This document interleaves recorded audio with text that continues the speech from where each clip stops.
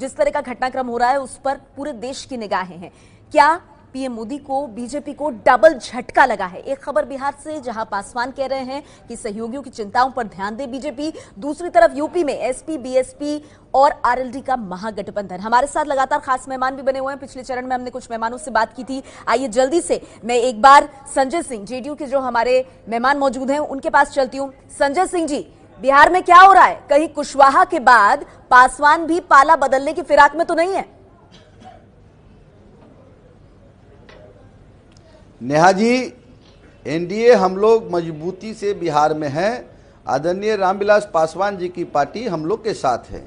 चिंता का विषय नहीं है, एनडीए में ऑल इज़ वेल नहीं, अगर ऑल इज़ वेल है तो चिराग पासवान क्यों कह रहे हैं कि बीजेपी सहयोगी की चिंताओं को सुनी नहीं रही है? वो तो ये तक कह रहे हैं, गठबंधन नाजुक दौर से गुजर रहा है। उपेंद्र कुशवाहा के बाहर जाने के बाद। देखिए, चिराग जी को कुछ शिकायत होगी। ज़ाहिर सी बात है, राजनीति में हम लोग महागठबंधन, एनडीए में हैं तो निश्चित तौर पर कहीं ना कहीं कुछ शिकायत होगी, उनकी दूर कर लिया जाएगी। और जहाँ तो उपेंद्र कुशवाहा जी का बात है उपेंद्र कुशवाहा जी का पेट में दर्द है और इलाज करा रहे हैं पैर का, उनको तो मैं साफ़ कहना चाहता हूँ कि मुख्यमंत्री का पद कोई बाज़ार में नहीं बिकता है कि जाके खरीद ले। मुख्यमंत्री बनने के लिए बहुत मेहनत करना पड़ता है, बिहार का सेवा करने का उनके अंदर अधिकार होना चाहिए लेकिन चलिए उनको तो, दर्द पासवान जी को आप कह रहे हैं कि वो धैर्य रखें उनकी समस्याओं का समाधान होगा और उपेंद्र कुशवाहा के लिए आपकी तेवर कड़े लेकिन सवाल लोगों के मन में ज़रूर उठेगा कि एनडीए इंटैक्ट रहेगा ना बिहार में? कहीं ऐसा ना हो एक एक करके अपने सारे हुए पर आए। खैर अखिलेश प्रताप सिंह जी अब मैं आपके पास आना चाहूँगी। कांग्रेस पार्टी की स्थिति महागठबंधन में क्या है? अखिलेश जी।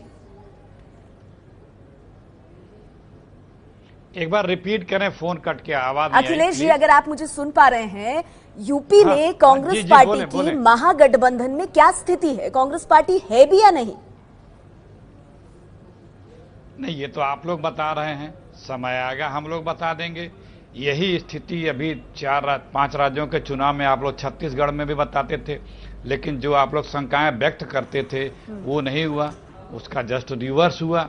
और मैं आपको और बता दूँ यही स्थिति। ये देखिए लोकसभा का चुनाव है। ये विधानसभा का चुनाव नहीं है। लोकसभा का चुनाव केंद्र में सरकार चुनने के लिए होता है और मतदाताओं के नज़र में केंद्र में किसे बिठाना है उसे नज़र रख के वोट देते हैं। 2009 के चुनाव में इसी प्रकार से बातें चल रही थी और हमें लोग कह रहे थे कि आप 15 सीट ज़्यादा लड़ने लायक नहीं हैं।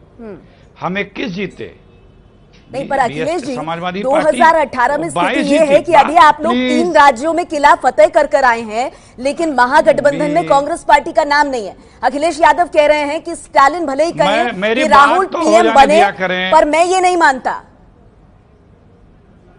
ठीक है सबको अपना अपना अधिकार है। हम कब कह रहे हैं कि वो राहुल गांधी अभी आप पीएम के जब चुन के हमारे पार्टी के कैंडिडेट हैं वो जब चुन के गठबंधन या साथी मित्र आएँगे हम लोग तय कर लेंगे पीएम कौन बनेगा। मैं तो सिर्फ़ ये बता रहा हूँ कि ये चुनाव लोकसभा के केंद्र में सरकार बनाने के लिए होता है। और उसमें हम 21 जीत के आए थे समाजवादी पार्टी 22 जीत के आई थी और बाद में कांग्रेस के राज बब्बर जी ने डिम्पल यादव को हरा के 22 22 पर बराबर हो गए थे। की तो स्थिति जो ये लोग कि उस सिर्फ़ वक्त भी दो हमें बताते सीटें थे। रायबरेली और अमेठी उस पर बीएसपी एसपी अपने उम्मीदवार नहीं उतार रहे हैं। बाकी तो- अड़तीस सैंतीस और तीन का फॉर्मूला बन गया। अब अगर कांग्रेस पार्टी के पास कोई और जानकारी है तो मैं स्वागत करूँगी अखिलेश जी कि आप उसको ऑफिशियली यहाँ मंच पर मैं बता रहा हूँ। जी बता रहा हूँ। जी ये आपका फार्मूला होगा।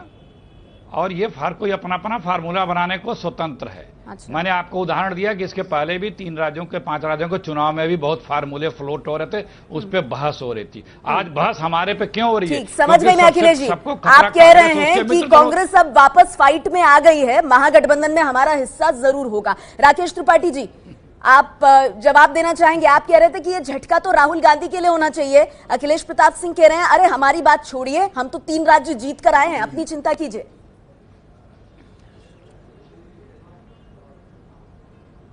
देखिए, अखिलेश प्रताप जी की बात को अखिलेश यादव जी गंभीरता से नहीं ले रहे हैं, कांग्रेस पार्टी को गंभीरता से नहीं ले रहे हैं, और 20 महीने पहले ही उत्तर प्रदेश में विधानसभा का चुनाव हुआ था, और विधानसभा के चुनाव में राहुल गांधी जी और अखिलेश यादव जी दोनों लोग हाथ उठा करके कि उत्तर प्रदेश के दो अच्छे लड़के हैं, और इन दो अच्छे लड़कों का साथ यूपी को पसंद है, लेकिन उत्तर प्रदेश ने क्या हस्र किया? उत्तर प्रदेश ने विधानसभा के चुनाव में कांग्रेस दहाई के आंकड़े में नहीं पहुँच पाई, और इस बात से सबक लेते हुए समाजवादी पार्टी उनसे दूरी बना रही है। बहुजन समाज पार्टी की मुखिया लगातार कांग्रेस पार्टी पर हमलावर रही है। देखिए कांग्रेस पार्टी का अतीत इस प्रकार कर रहा है कि कांग्रेस पार्टी जब भी मज़बूत हुई है उसने क्षेत्रीय दलों को क्षेत्रीय छत्रपों को हमेशा दुलत्ती मारने का काम किया है। और इस नाते क्षेत्रीय दल आज कांग्रेस पार्टी से अलग हो रहे हैं।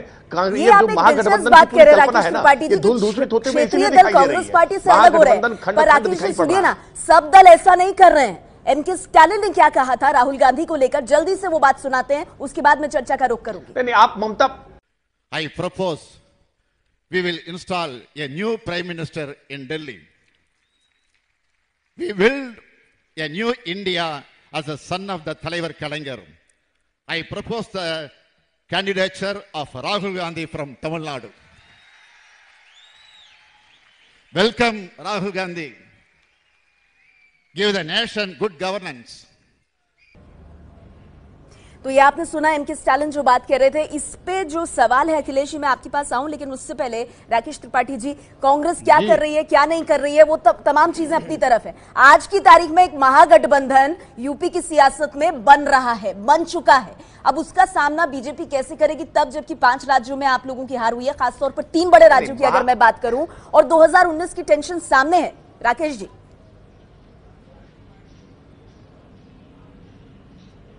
देखिए महागठबंधन तो हो ही नहीं सकता। महागठबंधन तो जब होता जब उसमें कांग्रेस भी उसमें साम, साथ शामिल हो रही होती। कांग्रेस को अलग करके चल रहे तो महागठबंधन तो हो नहीं पा रहा है। ये गठबंधन खंड खंड टूटते हुए दिखाई पड़ रहा है।